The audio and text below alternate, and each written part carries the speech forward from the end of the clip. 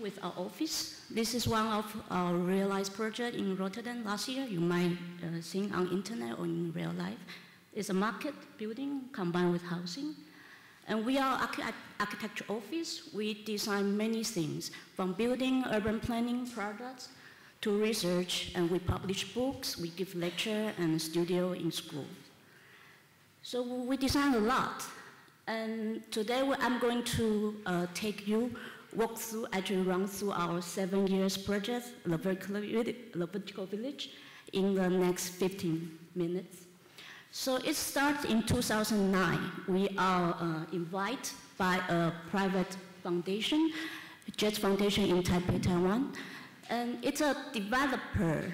They had this private foundation and they are very smart they, because they are developers, they are in Taipei, so they have many lands in, in the city in different locations. And when the land is waiting for uh, be developed, they use the land to build a temporary museum, and they call the museum for of tomorrow. So they built a temporary space, and every three months they travel. So we will invite after this artist he used this land uh, and grow the rice paddy because this area like 20 years ago was still farmland. So it's very, very nice uh, installation for one year to bring people, urban people to kind of reveal the history of the urban life in the past. So we were thinking, what can we do after this nice uh, exhibition, and especially in this dense and city then we had a site tour through the city. We look around. This is the Taipei. And you see the building mostly built for the last uh, two, three decades. And the more than less look similar. You see the facade, sometimes they make some different design, make some efforts. And I'm originally from this city, but I'm not really proud of the result for the architecture product. And we also did a lot of project in Asia. This is one of the sales center in China. You see the new project or urban plan in, in the city, and they try to sell you the pro products that, that you might live for your next life. Then the couple, they are looking through the brochure. They can choose the products for their, their new home. But what you can choose is from A to B, they actually look similar. Then we wonder, what can you provide for the Asian people, the urbanization, where is the individuality? So we were given of this site to make a, a museum for tomorrow. And the, as the beginning we know, they will tear down this little uh, rundown housing and make two towers. Then remind us this image you see uh, sometimes on newspaper, this uh, the building in China, they refuse to move out in this urban block.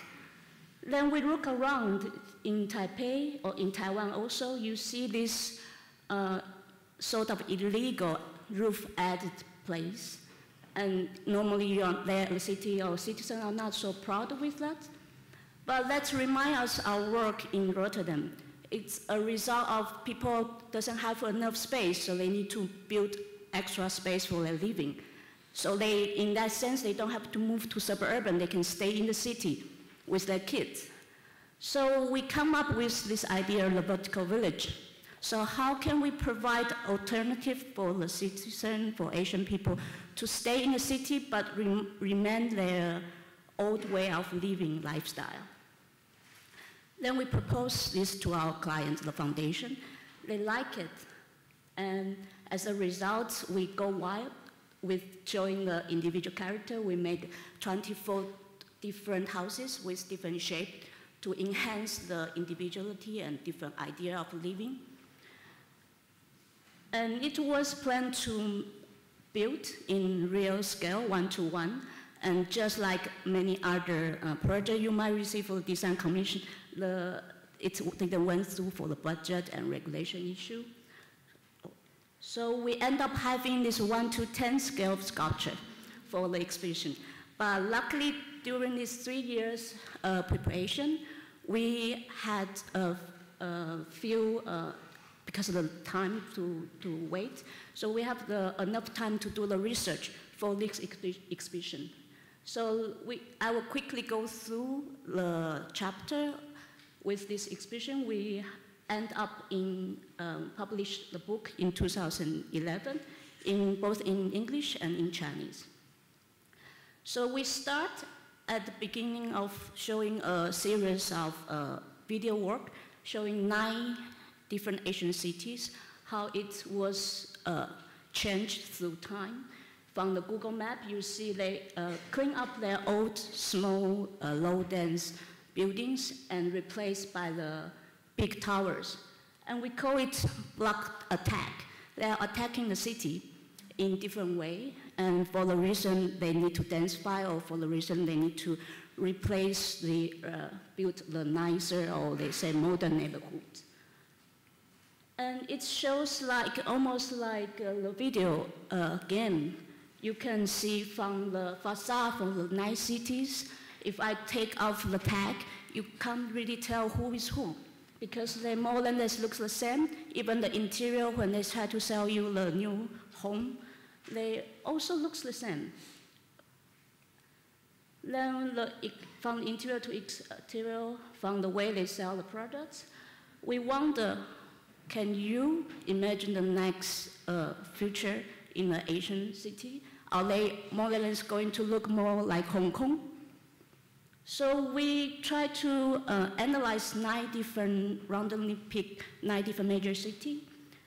The red you can read as uh, block attack. They are attacking the city, replace the small scale uh, neighborhoods.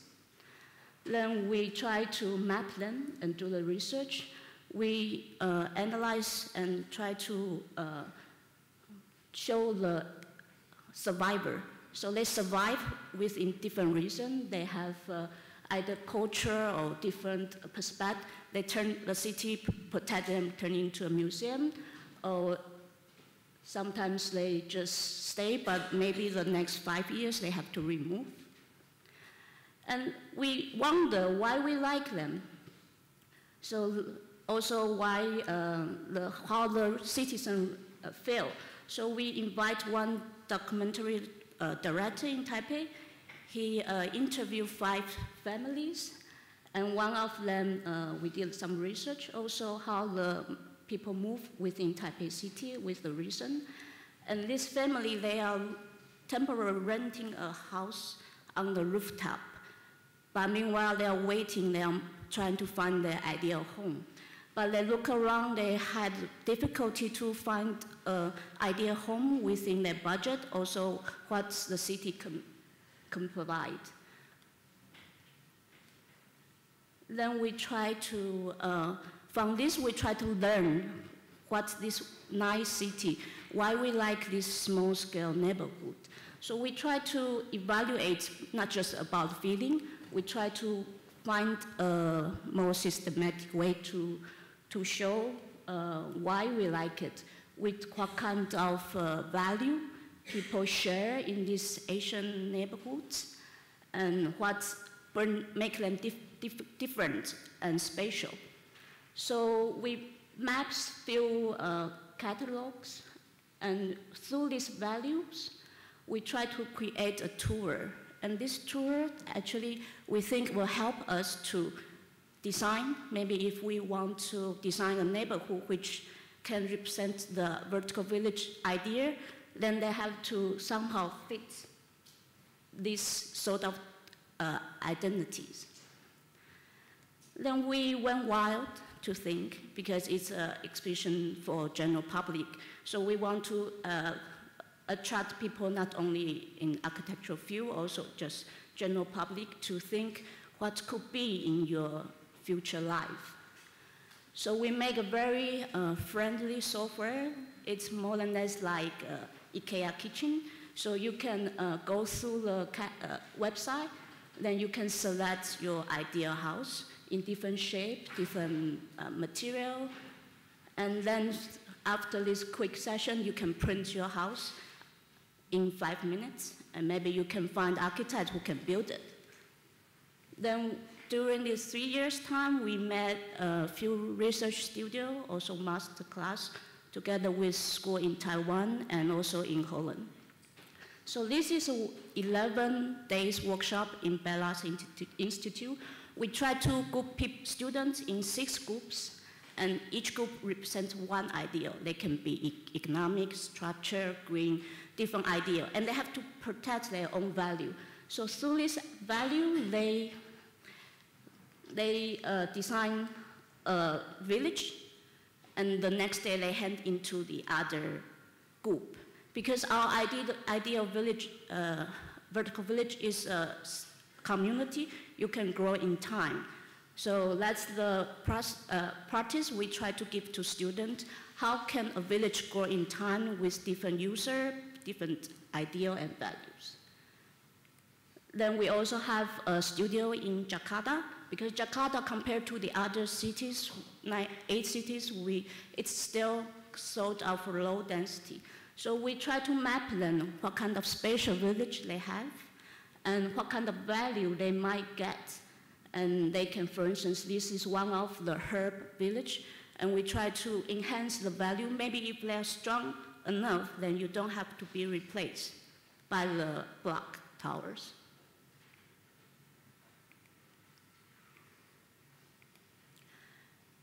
Then we uh, also have one design studio in TU Delft that there are five groups. They make a very nice, beautiful work. Imagine different way of vertical village can grow in time in different system, uh, including structure. So these are the beautiful models through the workshop uh, studio result.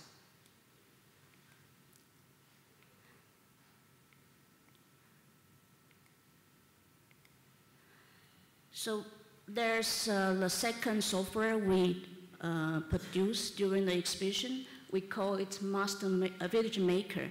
It's a software not just different than the Housemaker, but this software try to uh, teach people as a citizen what kind of neighborhood you can build. If you want to live in the vert vertical village, uh, what do you need to uh, prepare yourself? You have budget, you have uh, what kind of regulation you might uh, have to be aware of.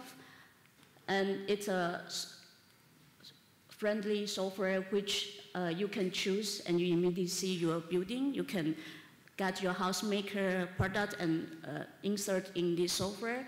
Then you can see the, where can be the light, the protection, and the distance you have to be with your neighbors. Then because the village has different setting, so you have to uh, see your, the result together with your neighbors. So it can lead of different, uh, different products through this uh, software practice. Then of course we made a film to kind of uh, bring people in this dreamy vertical village. So it was uh, in Taipei in 2011. The sculpture was made in fiberglass. And that time was really popular, especially for the general public. Then uh, the whole exhibition was invited to travel to Seoul. And in Seoul, we actually used the same idea, the whole exhibition, and we extend a bit the research with the Seoul application, and we published the book in Korean also. Then the set was a bit smaller, but made in uh, metal, stainless steel. Then in 2013, the whole exhibition was traveled to, back to Europe. This was the first uh, exhibition invite non-European project in IBA. So we, uh, we actually represent the, the Taipei city, and we extend our research also based on the Taipei application. So the whole, uh, the model you will see later in the Koya is the Sensate. It's uh, made together with the Belgian company, Sixinch. It's made by foam. So it can turn into the furniture. Then we have the, uh, the same material with uh, a bit of extension. Then show the whole research in Hamburg.